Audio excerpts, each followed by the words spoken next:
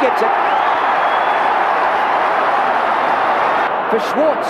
Well, it's across the ground. Still 50 metres out. Schwarz goes for a run. Goes for goal!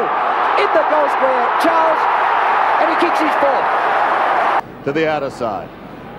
Big pack of players, David Schwarz comes over the top and takes a screamer. Leading by almost 10 goals in this knockout final. Schwarz beautifully with one hand. He's better than Uriah.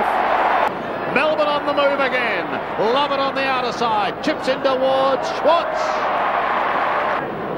Been sensational. Stabs towards goal and has threaded it. Well, they're mucking around with this one. He centres it. It's a high kick. Nureyev! Schwarz! Call him what you like. For Prunky, he was pretty solid in that contest. Gathers and then kicks in towards full forward mark. Is taken by Schwarz, and that would have to be his 14th mark.